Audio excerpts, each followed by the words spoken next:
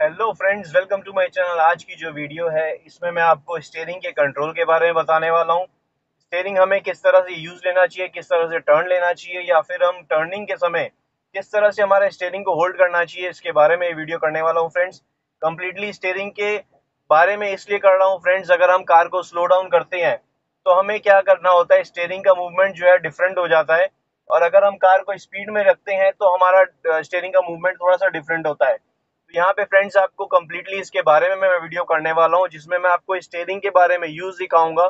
अगर हम break apply करके टर्निंग लेते हैं सपोज़ हम ब्रेक अप्लाई किए हैं, अब टर्न ले रहे हैं तो हमारा स्टेयरिंग का मूवमेंट जो होगा, जो स्पीड होगी स्टेयरिंग टर्न करने की स्पीड होगी, वो स्लो हो जाएगी। और अगर हम बिना ब्रेक अप्लाई किए जितनी स्पीड में होंगे तो हमारा मूवमेंट जो है स्टेयरिंग का, वो और डिफरेंट हो जाएगा। तो चलिए फ्रेंड्स ये वीडियो स्टार्ट करते हैं और वीडियो स्टार्ट करने से पहले आपको रिक्वेस्ट करूँगा तो फ्रेंड्स आपको रिक्वेस्ट करूँगा वीडियो अगर पसंद आए तो पूरी देखें लाइक ज़रूर करें और कमेंट में कुछ कहना चाहते हैं कमेंट करें और चैनल को अब तक आपने सब्सक्राइब नहीं किया फ्रेंड्स तो चैनल को ज़रूर सब्सक्राइब कर लें। तो चलिए फ्रेंड्स वीडियो स्टार्ट करते हैं। यहाँ पे अभी मैं, यहाँ से टर्निंग आगे आप देख रहे हैं लेफ़्ट टर्निंग है। वहाँ पे मैं कार अपनी टर्न लेने वाला हूँ। आपको दिखाऊँगा, अगर मैं ब्रेक अप्लाई करके टर्न लेता हूँ तो मैं किस तरह से ड्राइव करूँगा। ये देखिए, अभी मैं फ़र्स्ट गियर लगाता हूँ यहाँ से। यहाँ से मूवमेंट स्टार्ट किया मैंने। मैंने कार में मूवमेंट स्टार्ट कर ली है। अब यहाँ से मैं टर्न ले रहा हूँ बिना ब्रेक अप्लाई की ये देखिए स्पीड मेरी स्टेयरिंग की स्पीड देखिएगा आप। ये देखिए टर्न कर लिया मैंने। और यही चीज़ यही से, सेम चीज़ मैं अगर ब्रेक अप्लाई करके करूँगा क्योंकि मेरी टर्निंग आपने देखा कितनी स्पीड में आ, मतलब टर्निंग जो है स्पीड थी कार की। तो मेरे को क्या है स्टेयरिंग का मूवमेंट भी थोड़ी स्पीड में करना पड़ा। अकॉर्डिंग टू माई डाइस कार के डाइस के हिसाब से मेरे को मूवमेंट को जो है ज़्यादा रखनी पड़ी स्पीड स्टेयरिंग टर्न करने की स्पीड मेरे को थोड़ी सी ज़्यादा रखनी पड़ी। अब जो है वापस से मैं बैक लेके जाता हूँ, उसी पोजीशन से आपको दिखाऊँगा। यहाँ पे मैं जब टर्न लूँगा, अभी आप देखिए उसी पोजीशन से मैं फ़र्स्ट गियर से वापस से स्टार्ट करने वाला हूँ कार को। ये मैंने फ़र्स्ट गियर लगाया कार स्टॉप कर ली कम्प्लीटली पहले, ये फ़र्स्ट गियर लगाया। अभी देखिए अब मैं स्लोली कार को अंदर की तरफ़ डालूँगा ये जो लेफ़्ट टर्न है, ये मैं सेकेंड गियर लगाया हूँ। अब मैंने कार को स्लो कर लिया है, देखिए ऑलमोस्ट ब्रेक लगा ली है। अब देखिए टर्निंग मेरी, देखिए स्टेयरिंग में कैसे टर्न ले रहा हूँ। मेरे को उस समय क्या है स्पीड में टर्न लेना पड़ा तो स्टेयरिंग ज़्यादा जल्दी घुमाना पड़ा। अभी देखिए, मैंने बड़े आराम से टर्न लिया और फिर स्टेयरिंग को सीधा भी, देखिए, बड़े स्लोली से किया है। अगर आप पहले वाला, इसी टर्निंग पे पहले जो मैंने किया था, उस पर अगर आप ध्यान देंगे तो मैंने किस तरह से स्पीड में टर्न लिया, क्योंकि कार की स्पीड ज़्यादा थी। तो स्टेयरिंग का कंट्रोल फ्रेंड्स इसीलिए आपने ध्यान रखना है कि कितनी स्पीड है आपकी कार की, उसके अकॉर्डिंग स्टेयरिंग कंट्रोल होगा या टर्न होगा। हम ये नहीं कह सकते, ये देखिए, ये मैंने स्लोली से टर्न लिया है और ये यहाँ से कार को टर्न ले लिया इस तरह पोजीशन से। आगे कार है ऑलमोस्ट हमारी उतनी ही पोजीशन है जितने में दोनों कार निकलेगी। तो हमने जजमेंट लेके कार निकाल ली है। तो ये टर्निंग फ्रेंड्स स्लोली इसलिए स्टार्टिंग में जब आप सीख रहे हो स्टेयरिंग का कंट्रोल आपने बहुत ही स्लोली इस चीज़ को करना है, क्योंकि स्लोली करेंगे अगर आप तो आपको आइडिया लगेगा कि कितनी टर्न हो रही है कार। ये देखिए, ये मैं बहुत ही स्लोली फ़र्स्ट गियर से टर्न ले रहा हूँ। बहुत ही स्लो मैंने टर्न लिया है और कितनी स्लोली मैंने स्टेयरिंग को घुमाया है। आप देखिए कितनी मतलब जैसे मेरे को टर्न लेने के समय स्टेयरिंग का जो रोटेशन है, वो मैंने बहुत ही स्लो लिया है। अभी आपको यहाँ से लेफ़्ट टर्न एक आ रहा है। वहाँ पे थोड़ी सी स्पीड में टर्न करके दिखाता हूँ फ्रेंड्स ये देखिए, यहाँ से फ़र्स्ट गियर लिया हूँ मैं। स्पीड इंक्रीज करूँगा। सेकंड गियर लिया स्पीड इंक्रीज कर लिया। ये देखिए स्टेयरिंग का मूवमेंट देखिएगा फ्रेंड्स कितनी स्पीड कर रहा हूँ मैं। यहाँ से राइट टर्न लेता हूँ। ये देखिए स्टेयरिंग जैसे स्पीड बढ़ेगी, मेरा स्टेयरिंग का मूवमेंट जो है, ये रिवॉल्व जो कर रहा हूँ मैं, ये मेरी इंक्रीज हो जाती है स्पीड क्योंकि मेरे को टर्निंग जो है स्पीड में लेनी पड़ती है। ये देखिए, ये थोड़ा सा स्लो करना पड़ा मुझे। क्योंकि मेरे कार को टर्निंग की रेडियस भी देखनी ज़रूरी है। आगे कुछ आ रहा होगा तो थोड़ा सा उस पर ही सतर्क रहना है। क्योंकि हमेशा हम स्पीड में टर्न लेंगे तो हमें उतनी स्पेस चाहिए होगी। कार जब टर्न लेती है तो उतनी स्पेस चाहिए होगी कार को मूव होने के लिए। अभी देखिए यहाँ से मैं टर्न लूँगा। यहाँ से लेफ़्ट टर्न है। ये देखिए, मैंने थर्ड गियर में यहाँ से ये देखिए, मेरा स्टेयरिंग का मूवमेंट जो है कम्प्लीटली डिफरेंट हो गया है क्योंकि मैंने स्पीड में कार को टर्न लिया है। तो जितनी स्पीड हम कार में रखेंगे, उतना स्टेयरिंग कम घूमेगा, क्योंकि स्पीड है, इसलिए कार फट से घूम जा रही है। और स्लो जितना रखेंगे, ये देखिए, जितना स्लो रखेंगे, हमको स्टेयरिंग ये देखिए स्टेयरिंग कितना टर्न लेना पड़ रहा है, ये ऑलमोस्ट ये देखिए, कितना टर्न लेना पड़ा। अब यही स्पीड होती मेरे कार में तो मेरे को हल्की सी स्टेयरिंग टर्न करता तो मेरी कार बहुत ज़्यादा टर्न हो जाती। लेकिन उसके लिए मेरे को स्पेस ज़्यादा चाहिए होती। कम स्पेस में मैं टर्न नहीं ले पाता उसमें। तो फ्रेंड्स ये वीडियो इसलिए मैं बताना चाह रहा हूँ कि हमें स्टेयरिंग का कंट्रोल या स्टेयरिंग का टर्निंग के समय हमें ऐसा ज़रूरी नहीं है कि इतना ही टर्न करना होगा क्योंकि राइट टर्न आ रहा है। हमारी स्पीड पे भी पूरी तरह से डिपेंड होता है कि टर्निंग कितनी है स्पीड हमारी कार की कितनी है। तो स्टेयरिंग का कंट्रोल जो है फ्रेंड्स आपको इनिशियली जो है, आपको स्लो मूविंग में टर्न लेके देखना होगा कि किस तरह से आपका टर्न हो रहा है।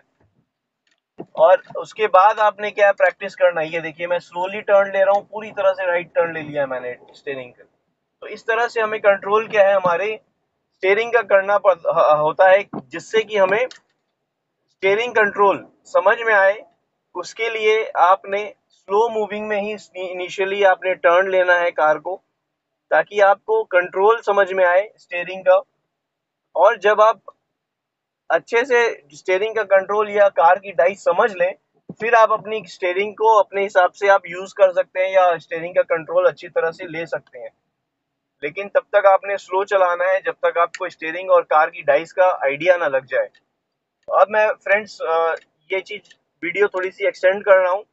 स्टेयरिंग के कंट्रोल के बारे में थी अब तक तो। अब मैं स्टेयरिंग को होल्ड करने की बात करूँगा फ्रेंड्स स्टेयरिंग हमें होल्ड करना चाहिए यूजली इस पोजीशन पे। हमारा राइट हैंड जो है इस तरह होना चाहिए लेफ़्ट हैंड इस तरह होना चाहिए, इस तरफ़ होना चाहिए। तो अगर हम इस तरह से होल्ड करते हैं तो हमें टर्न लेने में, ये देखिए हाफ़ ऑफ़ द वे मैं आराम से स्टेयरिंग को टर्न ले, कर सकता हूँ। तो इनिशियली जब आप ड्राइव करना सीख रहे हैं फ़र्स्ट ईयर सेकेंड ईयर और स्ट्रेट चला रहे हैं तो आपका स्टेयरिंग मूवमेंट इस तरह होना चाहिए। बहुत ज़्यादा हार्ड नहीं पकड़े, नहीं तो आपको ही अनकंफर्ट लगेगा, आपके हैंड में भी पेन आएगा। पंद्रह मिनट से ज़्यादा आप स्टेयरिंग को होल्ड नहीं कर पाएँगे, उल्टा आपको पेन बढ़ने लगेगा। तो आपने स्टेयरिंग का जो होल्ड करना है, बड़े स्लोली और स्लोली इन द सेंस बहुत ही लाइटली होल्ड करना है और उसी को प्रैक्टिस में रखना है। आप हो सकता है पैनिक होके हार्ड होल्ड कर लें या फर्म कर लें अपने हाथ को या बहुत सख्ती से पकड़ें। वो चीज़ नहीं करें तो बेहतर रहेगा। आपको कंफर्टेबली ड्राइव करने की हैबिट होने लग जाएगी। और अब जो है, हम जैसे जैसे अभी आपने देखा, मैंने स्टेयरिंग टर्न लिया। इनिशियली क्या होगा आपको टर्न लेते वक्त स्टेयरिंग इस तरह से ऐसे सीखना होगा या इस तरह से इस तरह आप करेंगे। यही सही तरीका है फ्रेंड्स अभी जैसे मैं कर रहा हूँ, मेरा राइट हैंड इधर ऐसे घूम जा रहा है। ये अगर आप स्टार्टिंग में सीखना चाहेंगे तो ऐसा नहीं होगा फ्रेंड्स ये आपको बहुत समय चलाने के बाद ऐसी सिंगल हैंड ऑपरेट बोल सकते हैं या एक ही हाथ से आप इस तरह से घुमा सकते हैं अपना स्टेयरिंग ये चीज़ बाद में आएगी। इनिशियली ये बिल्कुल भी पॉसिबल नहीं है। इनफैक्ट मैं रिकमेंड भी नहीं करूँगा कि आप ट्राई भी करें। जब तक आप दोनों हाथ से बड़े आराम से स्टेयरिंग को घुमा सक रहे हैं, तब तक बेस्ट है। ये देखिए, इस तरह से हमें टर्निंग लेना होता है।